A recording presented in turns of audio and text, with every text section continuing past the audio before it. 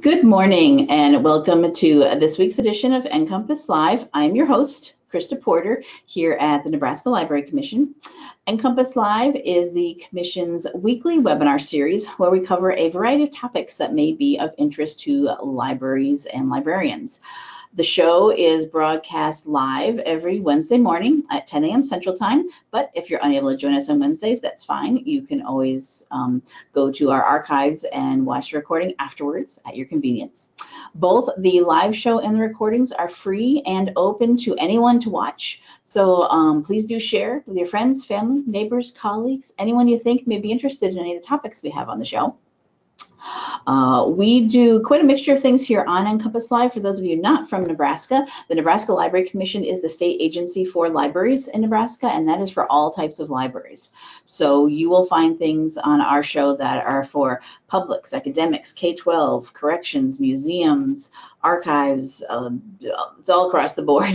so um, you'll find anything on there. Um, we do a mixture of types of things, book reviews, interviews, mini training sessions, demos of services and products that we think may be of interest to you. Uh, we do bring in guest speakers from outside of Nebraska, outside of the Library Commission to present on um, interesting things that libraries are doing, uh, things that we think they could be doing. Um, we also have Nebraska Library Commission staff come in and do things that are more specific to um, our um, and available to our Nebraska libraries. But today, um, before we get started with today's show, uh, that topic for today, I'm just going to um, briefly show, um, talk about what we're doing here at the Nebraska Library Commission for our libraries in Nebraska related to the COVID-19 pandemic that's um, we are all dealing with right now. And you can see here, this is our commission website, um, and we have a, a, post here right at the top of our blog. It's always it's pinned up there, so it's always at the top of the blog about resources that we have. We have a link to when we do, we are trying to keep track of libraries, public libraries in the state that are opened and closed and reopening and what they're doing and accommodations they're making. So there's a list there. If that is something you want to check up on uh, a library that you know of or your library to make sure you have the right info. If you're a Nebraska library, this is specifically just Nebraska libraries. For the resources that we have here, we have on our blog post, we're talking about what we are collecting, we have a form for libraries to fill out to keep that list updated for us. Um, and then we have a subpage here with information depending on your situation, your business, your own unemployment. Uh, what can I do with my kids at home? Uh, but specifically for libraries, I just want to highlight this for our libraries um, here in Nebraska. We have a lot of information on here that you may need that may be helpful to you. We are paying attention to what's going on, what resources have been put out by um, our state, by ALA, IMLS, um, the CDC, anything um, up to date. Uh, if there have been webinars or uh, sessions done and the recordings or things are coming up, we put on here um, some guidance um, about how to close, how to reopen your library, some information that's being um, collected. So it's always being updated in here. Summer reading, that's a big thing coming up that um, people are trying to um, how are we going to hold summer readings? We've got information on there. So we're always updating this page for our libraries. So if you are a Nebraska library, keep an eye on this page, see what new information we may be adding to it on a regular basis um, to help you as you're um, dealing with your situation in your communities. Um, if you're not a Nebraska library, check out and see if your state library or your state library association may be doing the same um, similar things for you. But I just want to make sure that our libraries knew that this was available to them and to keep an eye on it. So we're going to switch over now into our there we go, presentation for today. All right, Amanda, you should have present uh, the pop-up to present. There we go. You can do that full screen there for you now. And we're shifting the controls so I can access the present button. There it is. All right, so on today's NCompass Live, um, it is the last Wednesday of the month. And here what we do on NCompass Live um, on the last Wednesday of the month is our Pretty Sweet Tech session. Uh, Amanda Sweet is with us. Good morning, Amanda, from home. And she is our technology innovation librarian here at the Nebraska Library Commission. And once a month, usually the last Wednesday of the month, as long as we can keep to that schedule, um, she does a session um, that is specifically something techie. So if you're a tech type person, this is the session for you. We may have other things throughout the month that are also leaning to that tech side, but if you definitely want to keep up on things and going that way, this is the one to pay attention to. Pretty sweet tech is her um, the name of her sessions every week, every month. And today she's going to tell us something that is, I think, very, very important: how to make digital literacy less boring. Yeah. Now, we might not think it's boring, I don't know, but there obviously are some people out there who are talking at them about it, maybe not don't agree with us so much. So um, we'll get some tips and tricks from Amanda about that. So I'll just hand it over to you, Amanda, to tell us all how to how to do that. So a while back, I did a few outreach sessions to libraries across the state, pretty much. I gathered different library directors and library staff members to get an idea of how digital literacy is going. Mhm. And in one of these sessions, one of the library directors just asked me, How can I make people care? And it was just, it was a good question. And so, first of all, getting teenagers to care about anything is a feat in and of itself. And, but they can also have fun with it. So it's kind of like looking at it in a way that not why digital literacy should, how you should care about digital literacy, but what matters to you and what are the digital tools that can help you accomplish your goals. So in the chat function, if you could tell me, who do you work with in your, in your library? And these are some kind of common sample groups that libraries tend to bucket people out into, teenagers, children, adults, and older adults. So I want to get a feel for who you're working with so I can kind of give a little more attention to areas in case there's more people on the call working with one group over another. Mhm, mhm. All right, so go ahead and type into your questions section if you go to our webinar interface and let us know who you mostly uh, work with. And so of the- Mostly work with or who you mostly work with with digital literacy. yeah, Uh, adults, adults, ah, someone works with staff, so other library staff. oh cool.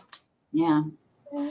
Adults and seniors, college students, nurses, faculty, physicians, staff and adults, a lot of adults, one older adults, teens and tweens. There's one for teens. Community college, so we work with everyone. Mostly adults. K-12 school, but mostly K through fifth grade. Cool. Staff and adults. I think older adults, I like that. Good. They, they. Another teens. So it's quite a mishmash, mainly adults or older adults, but you still got a few teens, tweens coming in. All right. Yeah. I can work with that. so technology is a tool that's designed to actually help us do something. It's not the central part of our lives, but it just helps us get the job done.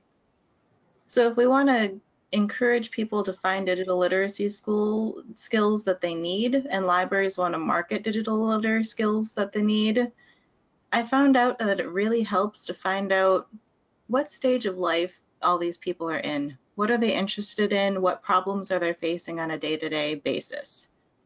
And so I found I collected some of the most common reasons that people go to the library or seek out digital skills. Hmm.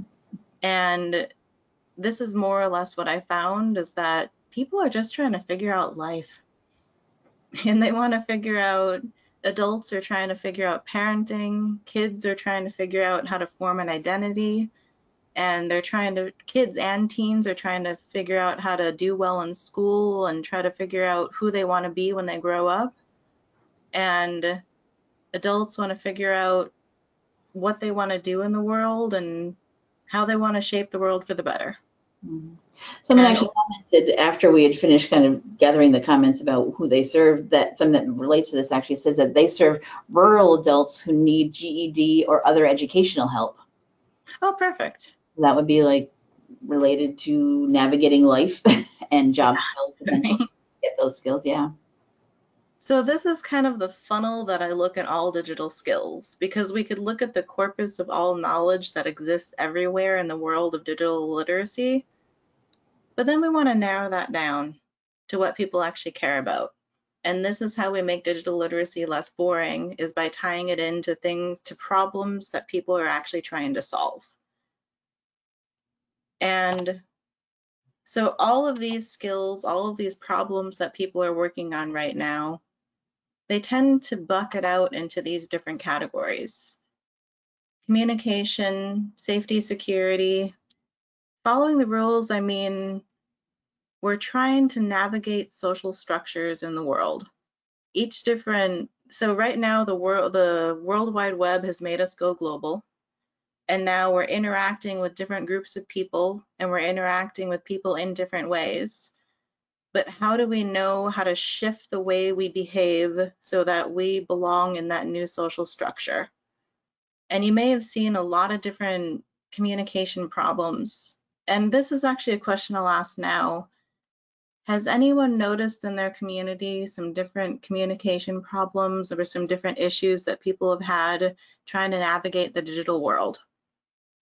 And this can be when they're trying to get a new job, when they're trying to interact with people on social media. What are the problems that people have, have faced? And this can be community or yourself. You don't have to admit it was you.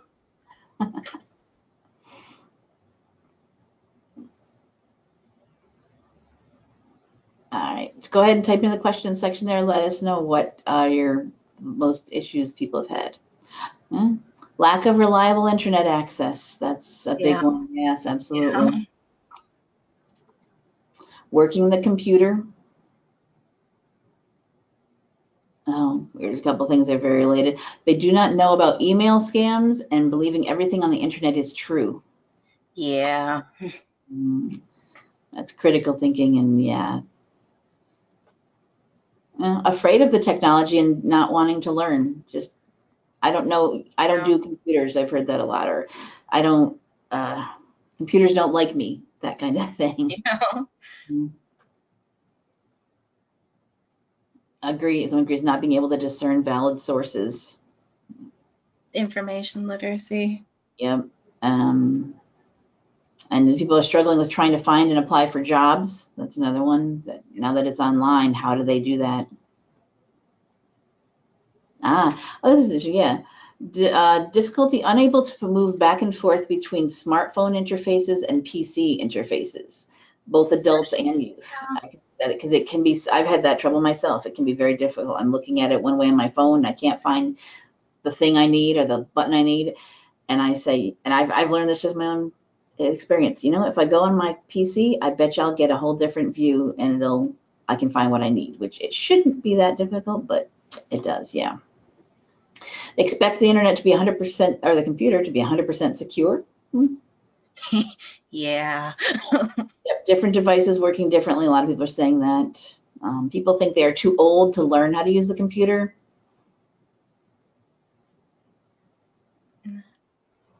I don't, I hear that one a lot. It's not true, but I hear it a lot.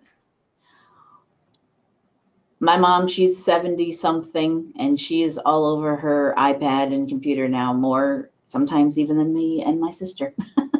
Right? Yeah. has learned it and has, has become her thing. Yeah. Yeah. Oh, and that's that's what I was waiting for. Finally, somebody said not knowing how to use a mouse. Yeah. So used to devices like your phone, your phone or uh, tablets that a lot of people have that are all touchscreen, and it's not a mouse that you're using. That may be something new to some people. Yep. You know, I was teaching a graphics class a little while ago, and I was amazed that this this one woman who was really interested in the class, she just wasn't picking up on it. And I eventually found out it was because she didn't know the left and right click. And it Ah, wasn't because she didn't know computers, it was because she was working on a PC and she was used to a Mac. oh, see, that's a whole different thing too. Yes. So it wasn't it wasn't her fault in any way, shape, or form. It just I never even thought to ask who's used to using a PC and who's used to using a Mac. Because it's not on my checklist, but it is now. It needs to be, yeah. Yeah. Um, kids are using Macs very often in school, and then they come to the library that has PCs. The Yeah. public, and it's a totally different thing. This is a good suggestion. Jeannie says, actually, the one who mentioned not know how to use a mouse, I get them to do puzzles. Give them something that's fun to do online that gets them learning how do I click, what's right, what's left. Yeah. Definitely. And this is something I think is probably specific to schools and maybe um, colleges. Valid resources being blocked by your IT or your security. The filter. Mhm. So this is a guidebook that I put together. And Yeah. this will give you a lot of information about a lot of the problems that people have run into. So this resource, and I'll go to the privacy and security, I separated out into the most common questions and issues that I've come across that people have had troubles with finding an answer to or finding good information about. And I gave kind of an overview of more or less why each of these different sections is important and some different resources that libraries can use to either give to patrons or to use for themselves to develop their own programming. Because most of this, and this is probably a good one, a good example to use here. People love a good infographic. It's something that kind of really resonates. It's short, it's to the point, and you can hand it out during pretty much any activity. And so this is kind of to help you along your way in trying to get relevant information without having to do a bunch of background research yourself. And it's just a good starting point to find out what's out there. And this one is one that I've run into a lot. People trying to build their own job skills, but without having the baseline communication and etiquette skills to be able to write a good email or to be able to communicate effectively it's kind of hard to launch off into that job skill territory in, in like a digital way. And they don't, a lot of times people don't think about employers looking at their own social media or employers looking at expecting you to have a LinkedIn social media because it's just not something a lot of people think thought about before. Yeah. So and now the thing is that when I went out for the different outreach activities and I talked to different patrons and libraries that were trying to build these skills, what I heard over and over again was that people need to know more about cybersecurity. But when libraries set up different events and different activities for people to just learn these skills, they had low attendance.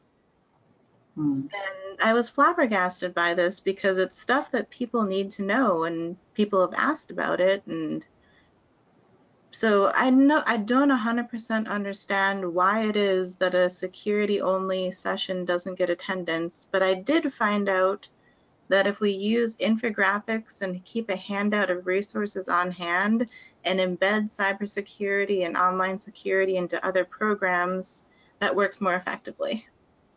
So for example, if you have a crafting group that comes in all the time and they're learning how to knit, you can do a five minute session at the end of the knitting group that says how to find yarn online and then do a little pinpoint of how to find the lock and the address bar to know that you're going to a safe site and give a handout that's a, with a recommendation for how to shop online. And it's in a relevant source and then they can apply that to other skills and it also reaches out to multiple age groups. So we're just kind of checking in that cybersecurity instead of making it the focal point. And that seems to have made all the difference. Connected to something that they're actually interested in. Right, yeah. So now this and all of this should be embedded into larger problems that people are trying to solve. Because a lot of times when we say, learn how to talk to people online. You might not get you some in some places you might get a ton of attendance. People might already be interested in that, especially in colleges or people that are specifically looking for that assistance. But a lot of times in public libraries, we found that people don't show up. Other things take priority, but just tuck it in somewhere else. So now let's look at some examples of what I found does work. And so the biggest thing is challenging your own assumptions first.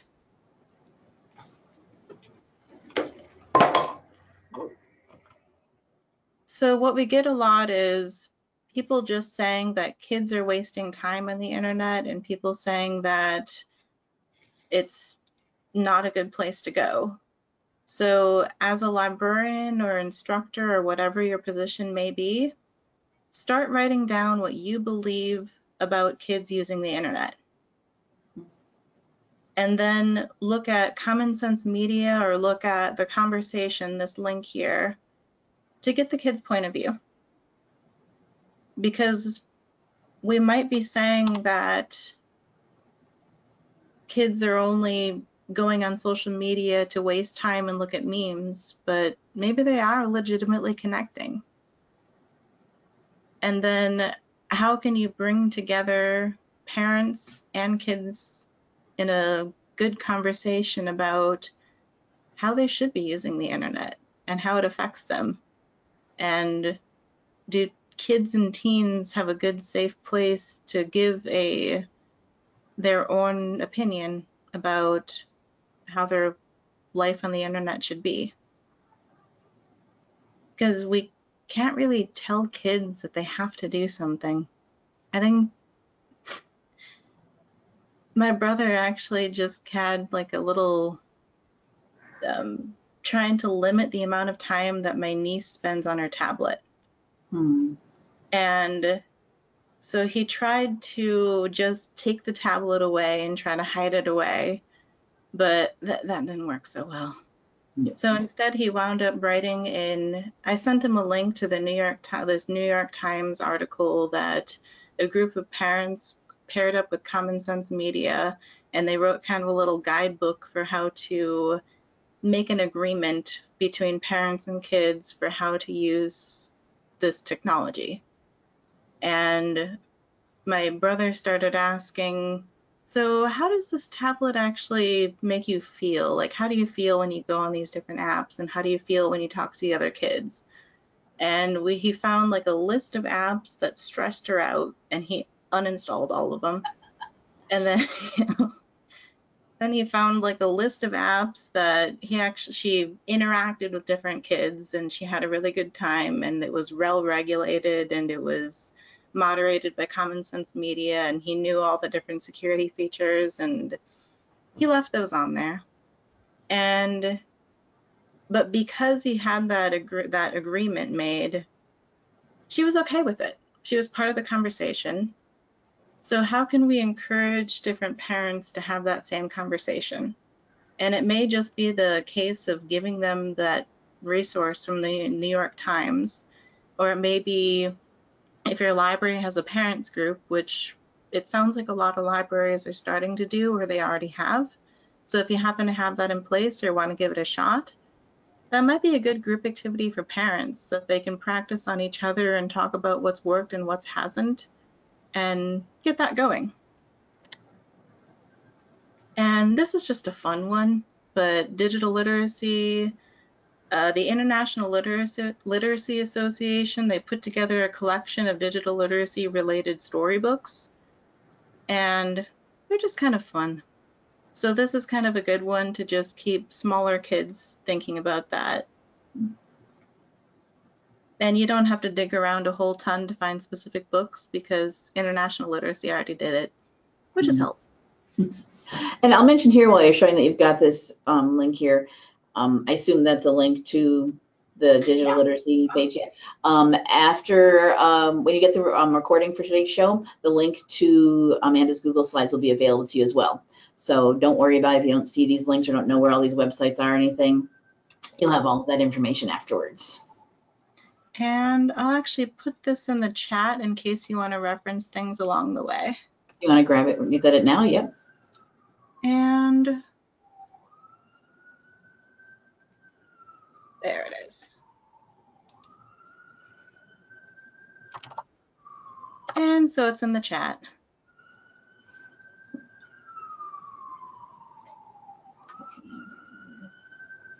And so this one I'll just kind of gloss over because I already talked about giving kids a safe place to talk about it and how to build that environment.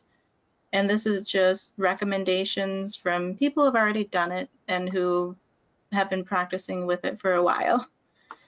And this is kind of a good way for kids to report bullying and abuse when they don't feel comfortable talking to local adults or their own parents and letting kids express themselves through artistic means. Libraries are awesome at that. All right, and so Google also made a resource for kids to start playing around with game, like online games that help teach cybersecurity and digital literacy. And it's called Be Internet Awesome. So these are just little, I forget which age group, but it's pretty young. So if you want to get kids started early, it's a good way to go. Um, the only thing is that you would need a halfway decent internet speed to be able to get it going because it takes a little bit of bandwidth to get the game playing. And there's also some safety tip for parents because a lot of the cybersecurity for kids' devices, it seems like parents are trying to get to figure out how to best set that up. So this is kind of a good thing to give to parents groups or maybe work with PTA or just get the word out there. And this is also a big one that I came across pretty frequently was how do we teach kids to be responsible with their money? Mm. And a really fun way that, and I actually completely forget where this actually came from because I came across it such a long time ago. but it's letting pe- they're letting kids choose a game that's actually going to be used as a library service and giving them the responsibility of having to agree to a budget and choose really good online, like safe sites to go to to purchase the game, checking the reviews to make sure that it's a good one and that it'll be updated, and then actually making that game available. And that really gets them, it gives them that sense of responsibility that I did this, I picked this, and this actually matters. And then if you have a group of teens that either want an internship or they might want to build more responsible financial habits themselves, asking the teens to write the this is what I learned the hard way and this is what you should know for the younger kids. It also gives that sense of responsibility. So if you have any teen groups that come in or teen advisory boards, this is an option. And so more about teens. And that latte looks really good. so again, there was a survey out that went out that says that 80% of teens impulse buy online. And if you want to check that stat, that link is clickable. But so one good project that I came across was to ask teens to list every single ad that they've ever seen online and in that moment say whether they need it and then write down why they need it and then collect that list and come back a week later and I find out if they even remember what they saw and if they need it. Sounds like something I should do, actually. I should do it too. I actually did try it. Um, I found I went to 12 different websites. I found 140 different ads. I didn't need most of them.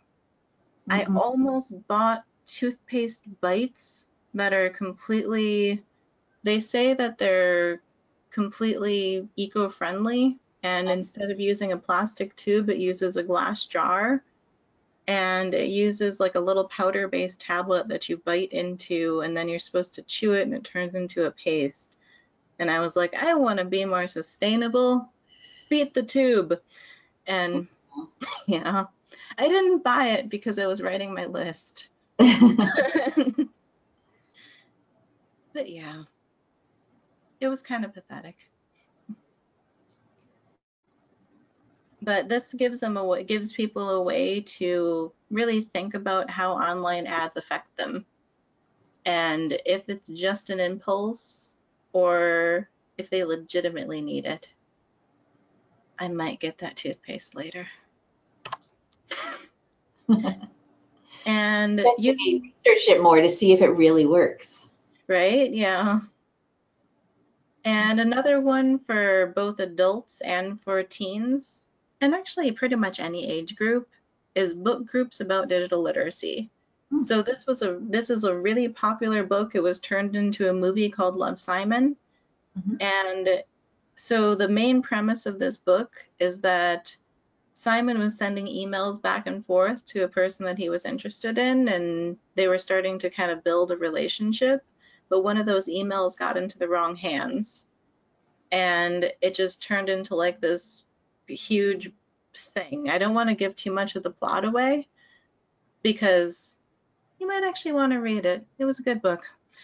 But you can use these books and similar ones to kind of talk about how digital tools can go haywire and how you can change your own security settings and privacy settings to prevent that from happening. And it doesn't have to be this book. There's a ton of books where digital things go wrong, but this was just an example because I just read it recently.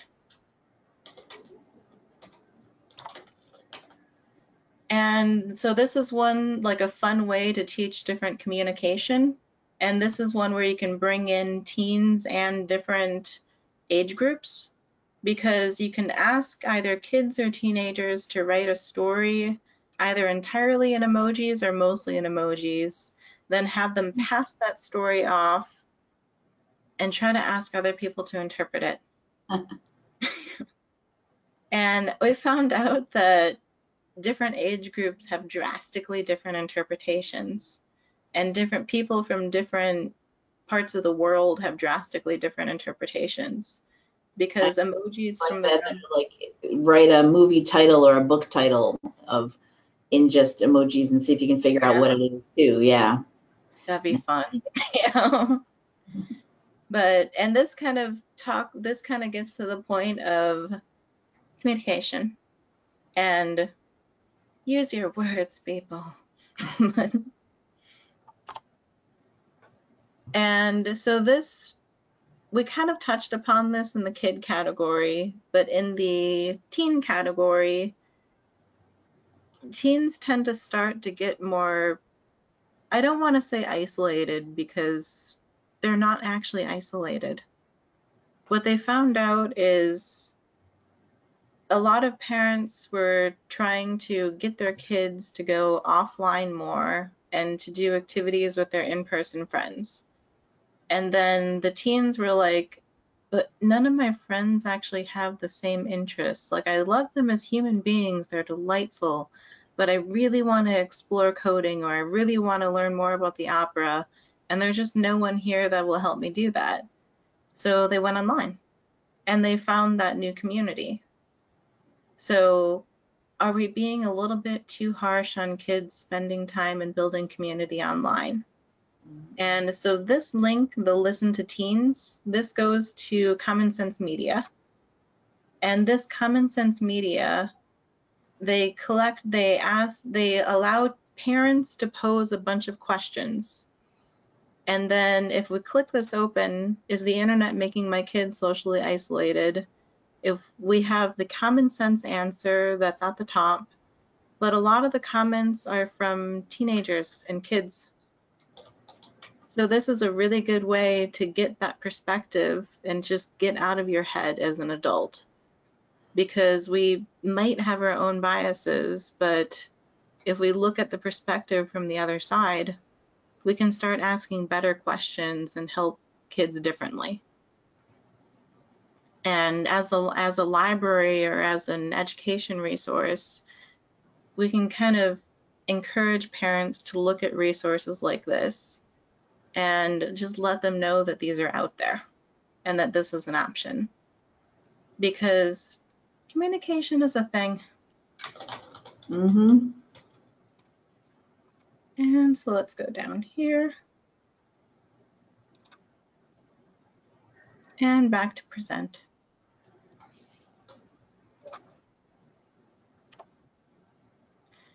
So, and this is a good one for both teenagers and adults and pretty much anyone. But as people learn more about technology, digital school, digital skills, what different software can do, what different apps can do, what different technology can do, what interests them, and what would they like to explore more?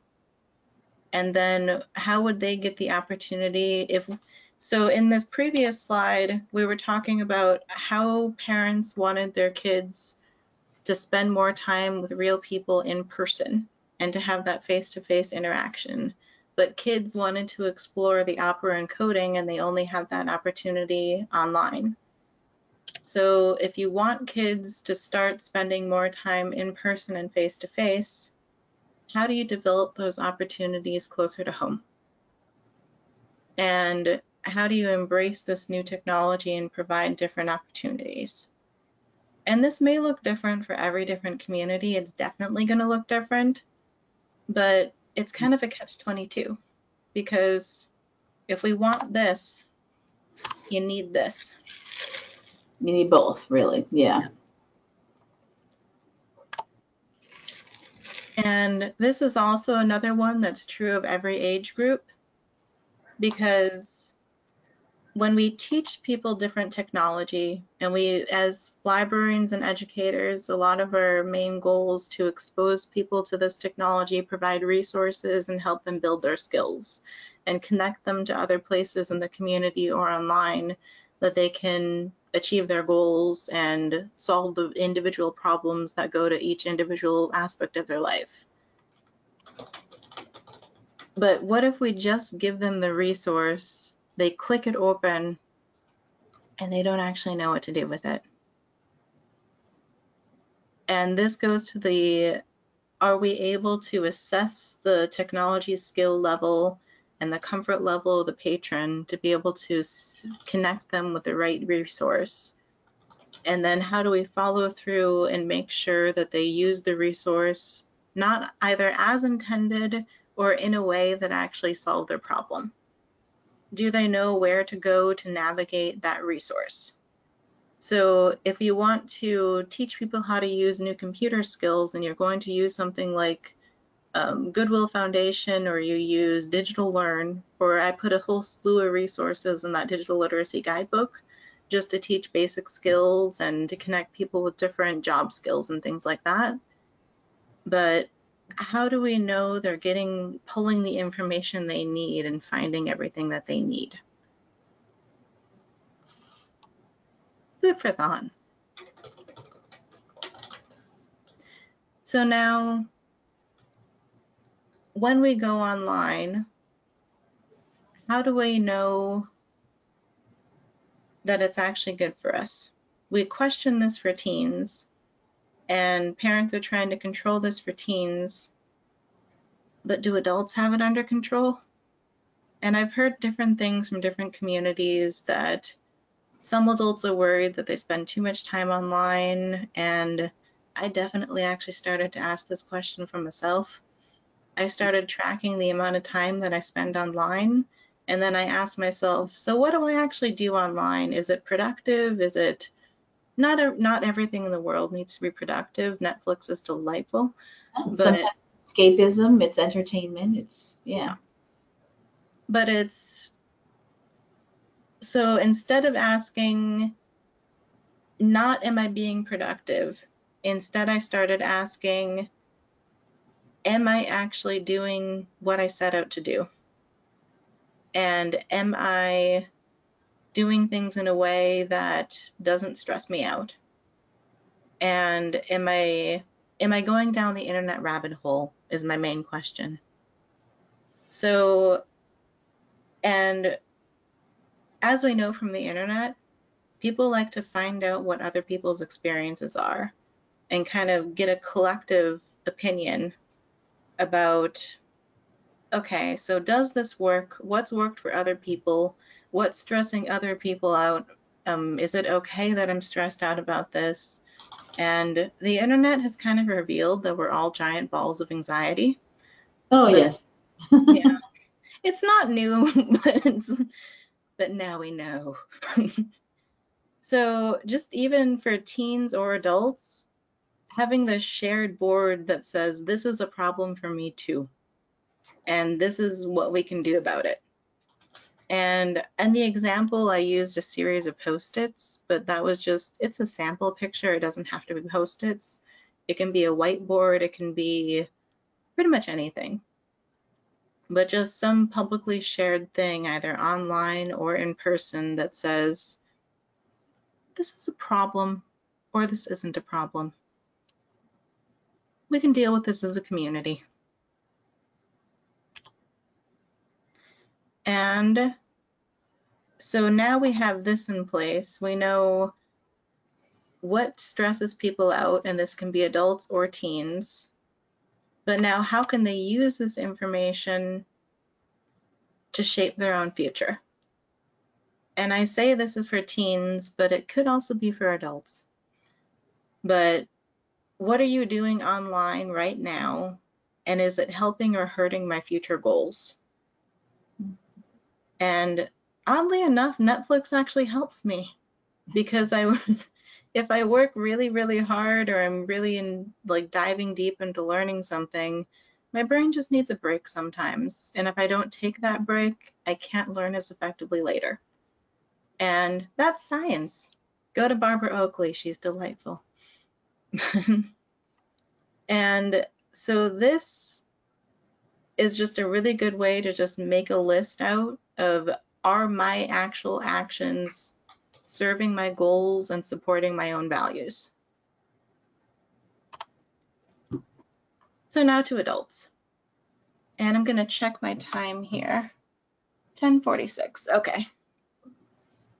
We're good. And um, I'll just mention too, um, we did start a little after because I was letting people log in. So um, if we do go past our official 11 a.m. Central Time and you know stop time, we won't just stop.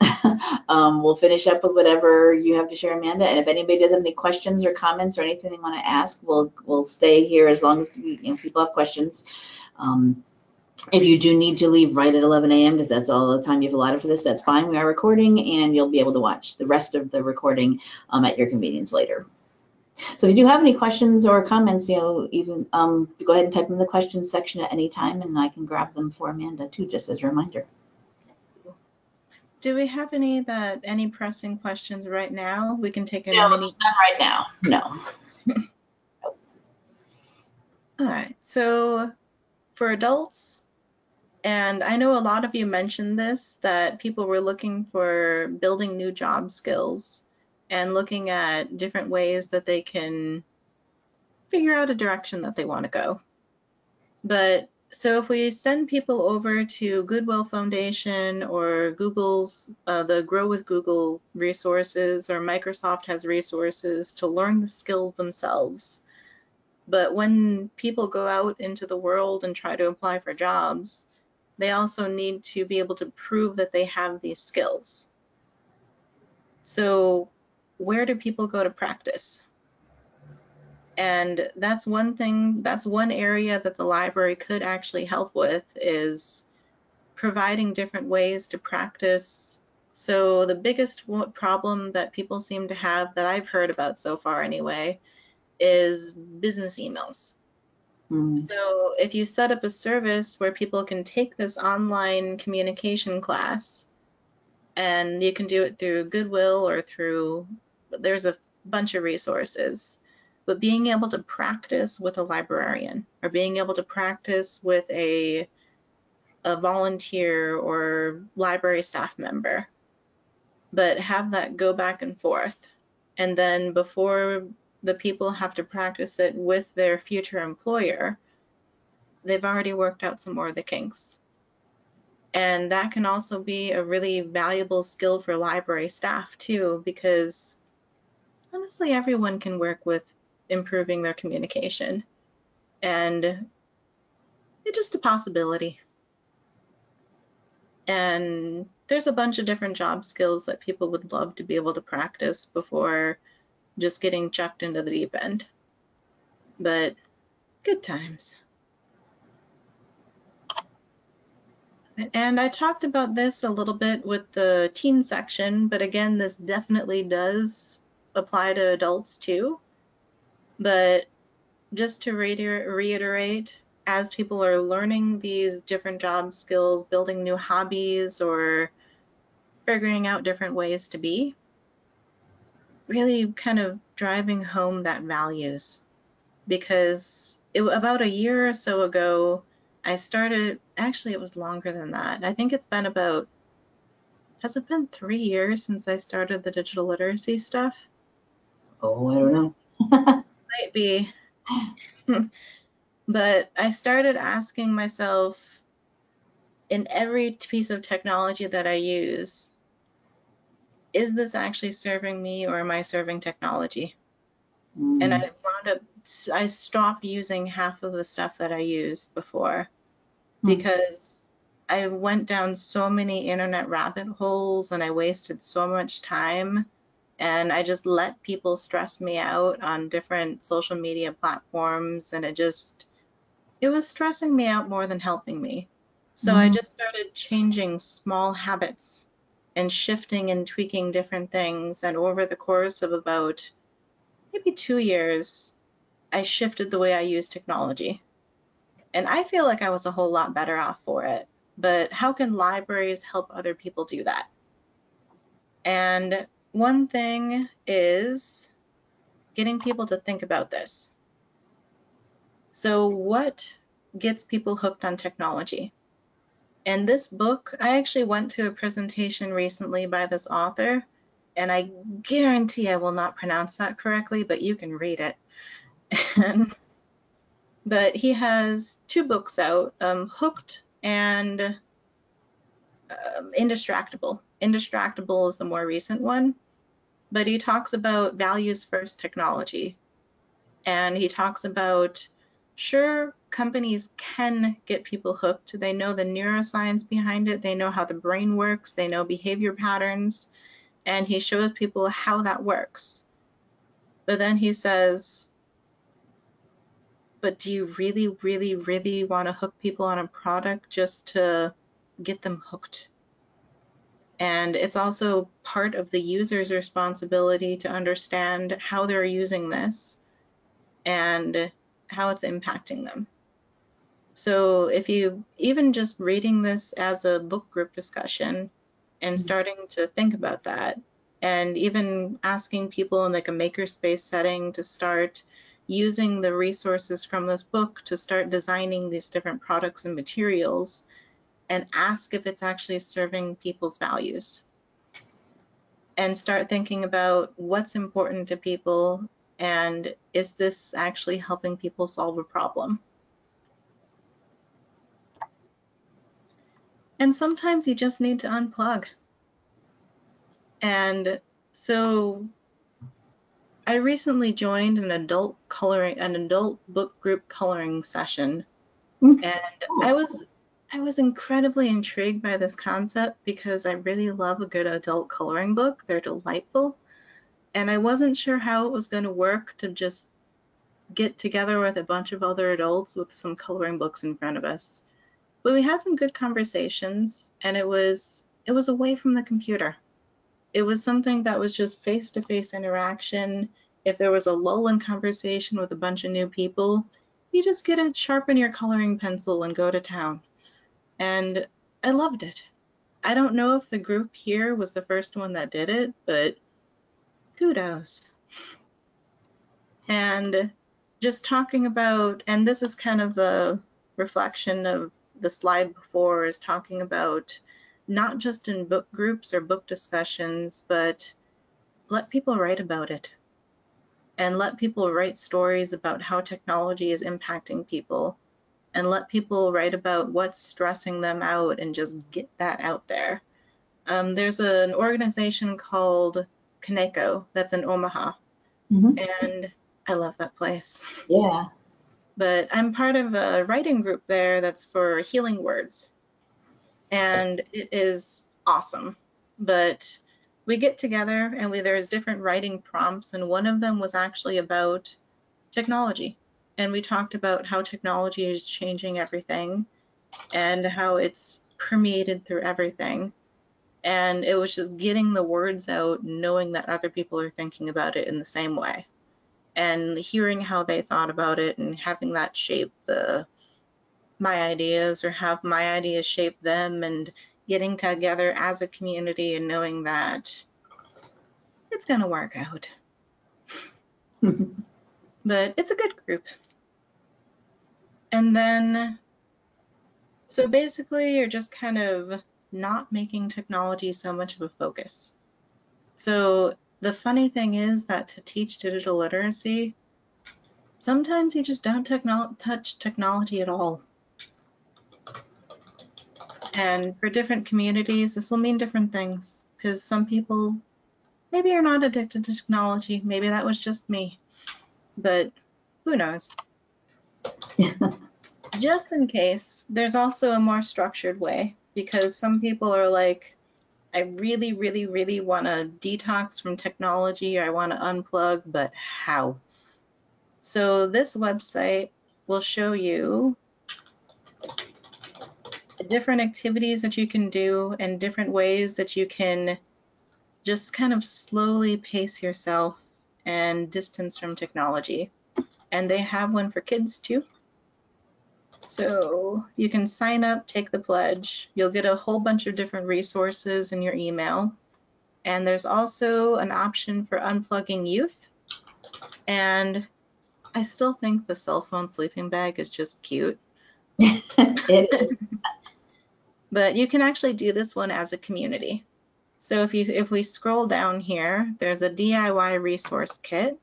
And a lot of these kits, this kit, I've used a lot of these for adults too, because it's universal. But you can, as a library or educator, you can fill out this form. It'll ask you your contact info, and if you have a small group of people doing it, it'll ask you for the estimated number of participants and where you're from.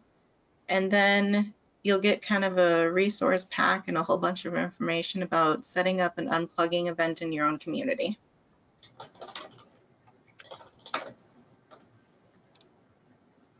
All right, so back here,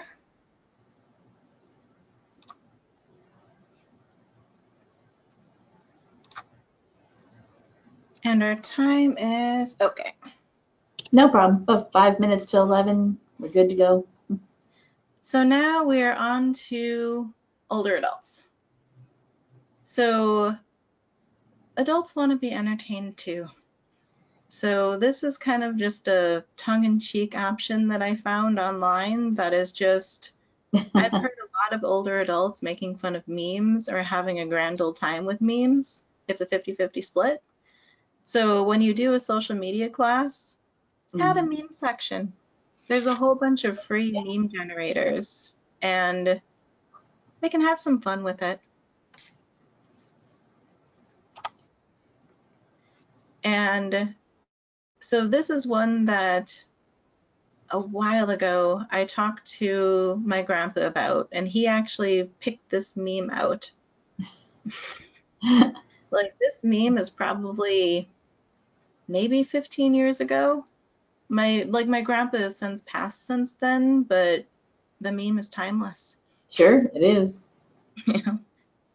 But he really liked going to different events that showed what's going on with new technology and to find out for to kind of decide for himself what was important. and what meshed with his own lifestyle. So it was through the library that he learned more about social media and he learned about, um, he didn't learn about video conferencing. It was mostly social media. But now it's more about video conferencing because Zoom is kind of taking over the world. Mhm. But kind of finding out that you can connect with friends and family and be able to see them and kind of experience those moments in a more interactive way than just a phone call, it can be awesome. And so some older adults, they don't see themselves as older. And honestly, I don't see them as older either. I mean, they're still getting out, they're still a lot of them are doing more after retirement than they were before they were retired. And it just embrace that. So hold photography sessions and hold and kind of show the the newer side of technology. If you think that younger people would love it, older people probably would too. So put out that um, I have I have no idea when I'm actually going to be able to put these out into the public because the tech kits have been kind of shut down for the time being for COVID 19, which is completely understandable. Mhm. But eventually, let me go here.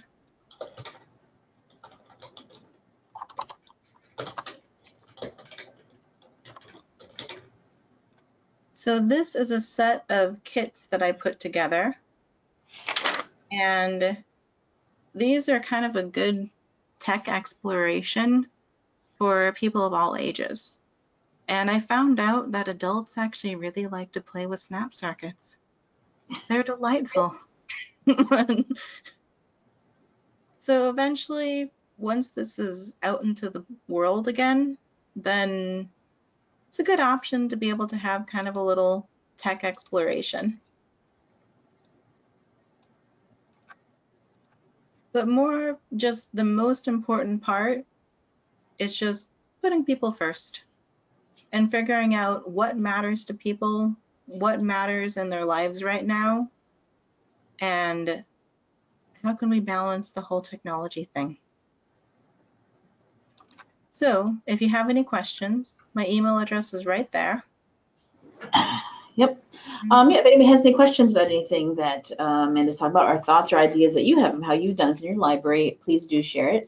Um, we do have a few comments. Actually, uh, the link that you did provide for the Google Docs, it looks like it's not actually set for sharing yet. It's saying Oh. you need to be logged in or have a password or be allowed. So I'm not sure that's something you need to uh, still do um, behind the scenes somewhere or It was one button. Let's. Try this one. And if someone could tell me if that one lets you open it. Let's see. Yes, it worked for me. Oh. I double checked it first before I, yeah. And if any, so if you are in the state of Nebraska, there's also a digital literacy course that is available right now. And if you'd like to sign up for that, you can. Yes, I updated the session info so that it has in there to contact you. Oh, cool. I did that while we were doing this, yes. And do you have the link available to the session? Oh, yeah. Um, And so the digital literacy class that I put together is about identifying your target audience, figuring out what matters to them, going through a slew of possible digital literacy options, and then figuring out what works for you and building kind of a digital literacy plan to tackle technology skills in your own community. So if you want to take that class and you are a Nebraska Library staff member, then feel free to send me over an email and we'll get you set up. Yep, Yep. you'll notice if you do go to it, if you're in Nebraska Library, that it, there's, you know, it's as a typical in our um, training calendar, the registration button doesn't work and it says the class is closed. Uh, but there is an extra note that I just updated this morning that says its registration is still open. Just and there's a link there to email Amanda to actually join it in progress. So you didn't have to get into it before it actually started. It's still available. And don't worry, it's only about a day in. So Yeah, it was initially just started on Monday, which actually for us was a holiday. So who knows? yeah. Yeah. In And- hindsight, would have started. Because you're through July 19th, so you've got quite a bit of time to get everything, you know, plenty of time. And if you are outside, not Nebraska, this one, you know, our NCompass Live shows here we do on Wednesdays are free and open to anyone. This is a class that's specifically only for Nebraska um, library staff. It is different. And if you are outside of Nebraska, the class relies heavily on this guidebook because Guidebook's Open for anybody to use. Yeah, yeah. Yeah. And the major difference between just using the guidebook and just using the class and using the class with it is the class just does more sharing of ideas and conversation. But as we go through the idea sharing, I've also added an examples in the library section to a lot of these different areas. So there's kind of like a running list of different ways to use it. And let me see, the last thing I was going to go in here. So we talked a lot about basic technology skills and getting people up to speed on using different devices. So this is a good section to kind of assess where your community is at or where individuals are at, and then different ways to learn more about how the device works, what the computer is, what it does, how the mouse works. And the funny thing is, there is an online class to show how a mouse works, but you need to know how to use a mouse to access the website, which I've always been amused by. but that's why you have a librarian standing next to you. So once they're comfortable with the mouse and they're able to navigate everything, then they can start using those resources to build themselves up. And this that's also why I pointed out not just giving people the resource and hoping that they go to town, but sitting with them and making sure that they have the baseline skills to be able to succeed. And this one is to not everyone will come in and know exactly what they already know and what they need to know for technology. So that's why I put together some links for basic skills technology assessment. Um, North Star, which I just noticed has a typo in it. Oops, I'll fix that. But I will take off the T because it's North Star, not North Start, but it will get you started. And North Star is out of Minnesota, and they have a lot of resources that you can embed into your own library and use in your own library. Mm, Nice. And so do we have any questions or do we have any ideas of what digital literacy has worked for you and your community? Um, doesn't look like anything has come in yet. Anybody have anything they want to share right now? It is a little almost 10 after, well, 11:07 by my uh, clock here. Any um, last minute desperate things that you want to ask of Amanda? Or anything you want to share um, that you are doing at your library?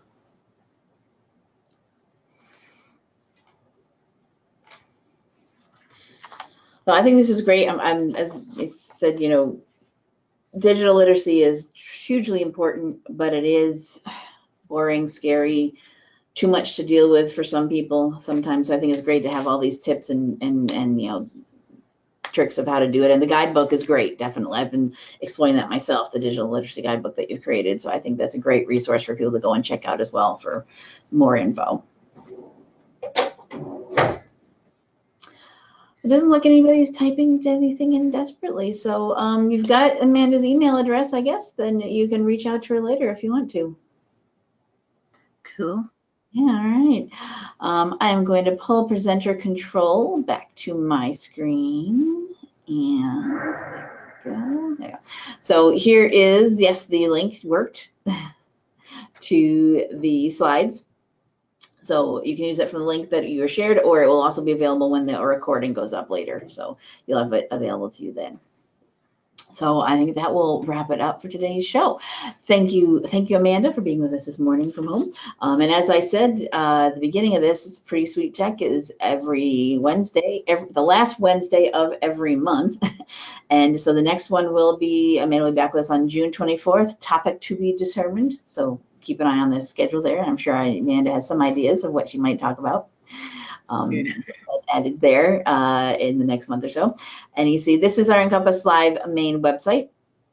And you can see our upcoming shows here for all of June are booked. I've got a couple of dates also confirmed for July. I'll get them onto this calendar as I get things finalized. I'll just show you here. This is where our archives are that I mentioned when the recording is ready for today's show, which should be by the end of the week, as long as YouTube and GoToWebinar cooperate with me. It'll be here, the most recent one at the top of the list here. This is last week's. So um, today's show will be here. We'll have a link to the recording, a link to the presentation. Her Google Slides will be both there available for you to look at. This is our full archives. I'll show you while you're here. We do have a search feature here. So you can search the entire archives or just the most recent 12 months, most recent year. This is because this is our full archives going back to the beginning of NCompass Live. NCompass Live premiered in January 2009.